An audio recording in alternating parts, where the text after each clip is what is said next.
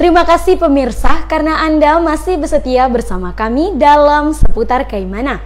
Kita masuk pada berita selanjutnya. Proyek pengerjaan talut pantai di ujung Bandara Utarom Kaimana saat ini mulai dibangun.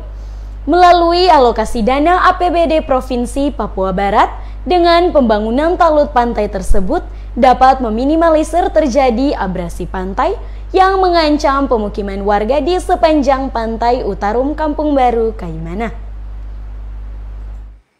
Alat berat ini bolak-balik memuat coran berbentuk kotak yang dipergunakan sebagai talut penahan ombak di ujung timur Bandara Utarum Kaimana sore tadi. Proyek pengerjaan talut pantai di kota Kaimana sudah dilakukan oleh pemerintah Provinsi Papua Barat sejak beberapa tahun terakhir.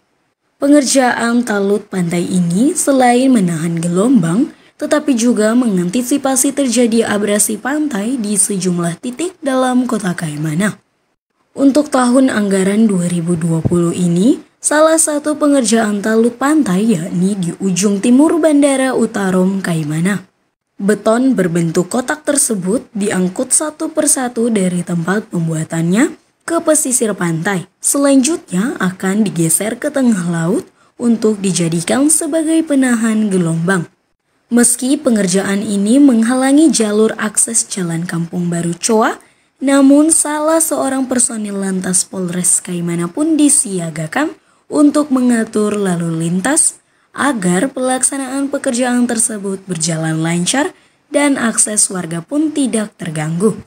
Menurut beberapa pekerja proyek mengaku, penyusunan beton-beton itu akan dilakukan ketika air surut. Dipastikan dengan pembangunan talut pantai ini dapat menjawab keresahan warga yang selama ini bermukim di pesisir pantai Kampung Baru, Kota Kaimana. Dari Kaimana, Papua Barat, tim liputan Kabar Triton mengabarkan.